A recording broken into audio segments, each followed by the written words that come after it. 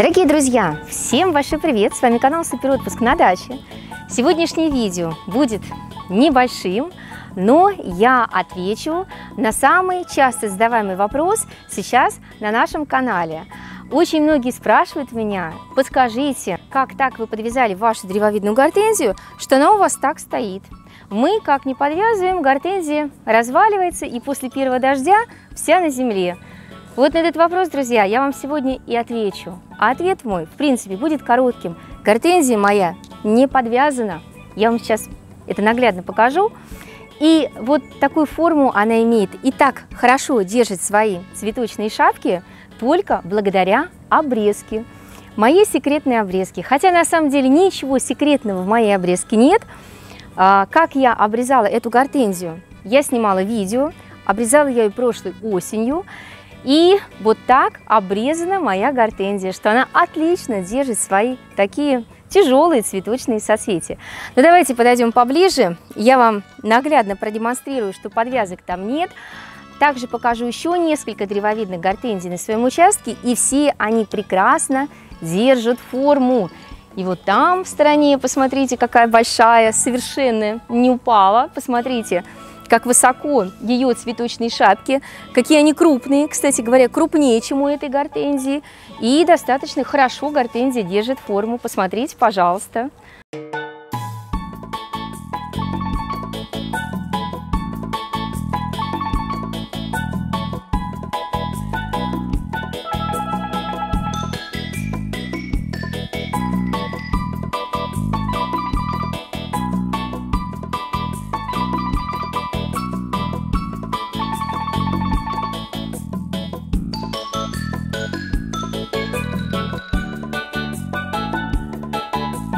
Буян меня слушает, да? Буян слушает. Хороший парень. Ты поздоровался со зрителями? Дай лапу. Лап. Молодец. Друзья, мы с вами здороваемся. Те, кто не любит собак, уж извините, у нас собака. Вот, и она всегда с нами. Ну, теперь отойди, пожалуйста, Буян. Отойди, мой дорогой, отойди. Молодец. Что значит Пашина воспитание?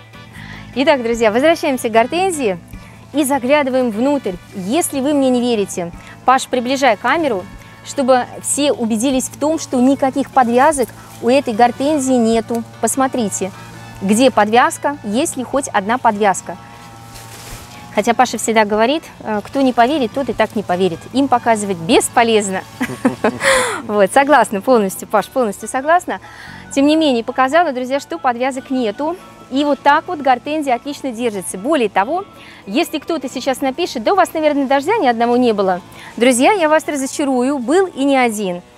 А, сегодня, когда мы снимаем это видео, у нас на дворе 23 июля. И, конечно, дождей уже было массу.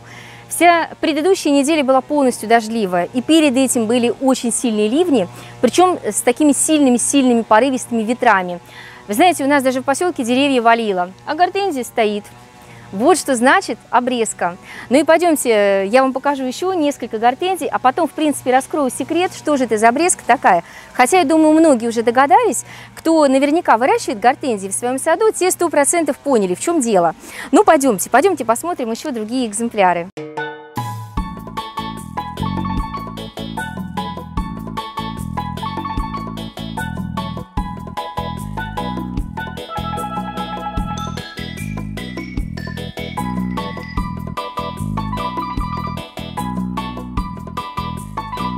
Еще одна моя красавица, тоже отлично держит куст и тоже абсолютно не имеет ни одной подвязки. Куст довольно большой, широкий, этой гортензии, друзья, лет так 5-6. Ну, хороший куст, уже хороший такой габитус. И посмотрите, отлично держит свою форму, тоже не развалилась гортензия ни под одним дождем, ни под одним ветром. Вот дожди идут, а им ни почем. Ветра дуют, им тоже ни почем. Вот так, друзья. Вот посмотрите. Вот такая красавица.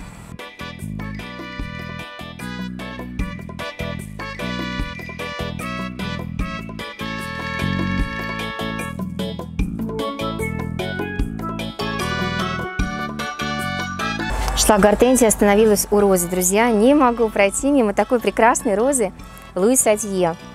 Я просто, знаете, поражаюсь ее запахом. мне кажется, прекрасней запаха у роз я еще не встречала. Очень душистая роза. Последнее соцветие распустилось, но я надеюсь, что скоро будет второе цветение. И очень тебе к лицу. Спасибо, Паш. Спасибо за комплимент. Ну, идем дальше. Идем смотреть еще одну гортензию. Так, ну идем, друзья, идем. Еще одну часть сада. Проходим, кстати говоря, мимо метельчатой гортензии Limelight. Она тоже хорошо держит свои соцветия, но это же метельчатая гортензия. Кстати говоря, среди метельчатых тоже есть гортензии, которые по-разному держат соцветия. Есть те, у которых веточки более гибкие, например, Vanilla Fries. А есть Limelight, Фантом и еще некоторые сорта, которые очень крепко держат свои тяжелые соцветия. Ну а мы, дорогие друзья, дошли с вами до гортензии третьей, древовидной. Пойдемте, а, зайдем, я вам покажу ее. Что же это за гортензия такая? Вот, пожалуйста, еще одна древовидная гортензия, которая очень хорошо также держит свой куст. И точно так же мы можем заглянуть и увидеть, что она совершенно никак у нас не подвязана. Посмотрите, нет ни одной подвязки. Видите? И посмотрите, как она красиво держится. Ну и многие, наверное, скажут, ну давайте уже рассказывайте поскорей, в чем же секрет?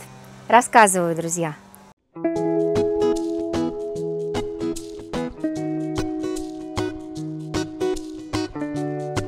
Ты опять с нами, друг мой? Идешь показывать гортензию? Ну пойдем, пойдем, пойдем, мой хороший парень, хороший. Ну хороший же парень, скажи, ну бросьте вы свои съемки, ну погладьте вы меня. Все, отходи, Буян, отходи. Погладимся попозже. Все, молодец. Пойдемте, друзья, к кусту. Пойдемте, посмотрим, и я вам покажу, в чем, в чем кроется секрет. Ну, во-первых, обратите внимание, как много шапок на моей гортензии. Цветочных шапок, конечно, я имею в виду. Очень много соцветий. И буквально гортензия усыпана вся, очень обильное цветение. И а, цвети, цветы по объему своему, они небольшие, потому что бывают гораздо больше. И а, вот такое цветение нам гортензия древовидной выдает в том случае, когда мы обрезаем ее высоко. Но это еще не все. Только при высокой обрезке у нас а, стебли гортензии очень хорошо держат свои соцветия. Почему так происходит? А, вот чтобы понять это, давайте заглянем в кустик, и я вам наглядно покажу, что же там так хорошо держит гортензию. Так, ну, заглядываем. Смотрите, что нам дает высокая обрезка? Вот э, прошлогодний побег, вот он, который был обрезан высоко. Вот место среза, да, вы можете его видеть. А от этого старого побега у нас потом начинают нарастать побеги э, молодые, да, побеги этого года, на которых наша гортензия и цветет. Вот два побега, вот побег, вот здесь внизу еще побеги. Ну, кстати говоря, их можно обрезать, вот эти побеги боковые, чтобы а, соцветия были, были больше. Но я этого обычно не делаю, друзья. И вот этот побег, он у нас очень стойкий, потому что он у нас одревесневевший. Посмотрите, какой он у нас стойкий, как хорошо он держится. И вот именно этот стойкий побег у нас и хорошо держит вот эти побеги молодые, которые нам у нас цветут. И вот за счет вот этой а, высоты и стойкости вот этого старого побега у нас и хорошо держится куст. Вот обратите внимание, дорогие друзья. Вот что нам дает высокая обрезка. Вот посмотрите. Если бы этот побег был короче, соответственно, да, у нас э, гораздо раньше бы начались вот эти молодые побеги, и э, они бы ну, не располагались так высоко. Куст не был бы таким высоким, и все-таки они бы приближались у нас к земле. Чем ниже обрезка, тем гортензия у вас больше клонится к земле. Особенно, друзья, если это гортензия Аннабель, поскольку у нее, а, у нас действительно такие достаточно гибкие побеги, и вот что бы мы ни делали, как бы мы их там марганцовкой не поливали, ну, все равно сложно как-то, знаете, природу изменить и сделать побег более крепким, чуть-чуть крепким, покрепче. Сделать можно, но очень крепким, ну, как не ухаживай, как бы это уже сортовая особенность. Вот, и смотрите, еще такой момент, обратите внимание, что есть также здесь побеги и нулевые, которые у нас растут от основания куста, от центра. Давайте опять заглянем внутрь и посмотрим.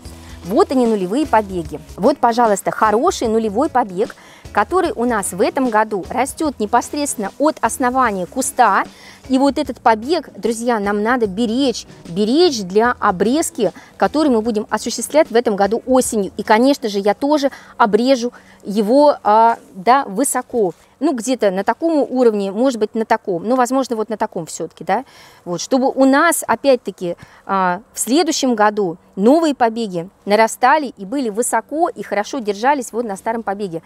Вот всего лишь вот такая, друзья, обрезка высокая а, дает нам вот такой красивый куст, который у нас не разваливается ни под дождями, ни под ветрами, а у нас их было уже очень много, и куст мы очень хорошо держится. Еще какие? Крышу сносила. Так устоял. Да, Паша подсказывает, крышу сносила. Представляете, действительно с качелей. Да, да, да. У нас были уже даже ураганы, друзья. А куст держится. Вот, пожалуйста. Вот, пожалуйста. Кто-то, вы знаете, друзья, пишет наоборот, то, что надо обрезать низко, и за счет этого побеги становятся крепче.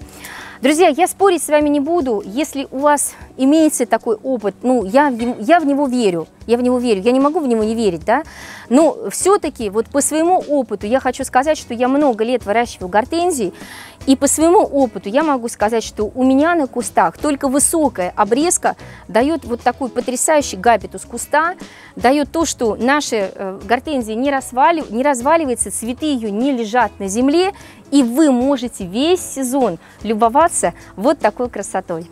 Вот такое видео, друзья, мне сегодня получилось. Ответила на ваш вопрос, который задавали многие зрители, подписчики на нашем канале. Ну и надеюсь, что мои советы вам пригодятся, тем более, что этой осенью, ну или следующей весной, нам все равно всем предстоит обрезать древовидные гортензии. И попробуйте, обрежьте вашу красавицу высоко, и она обязательно отблагодарит вас вот таким цветением.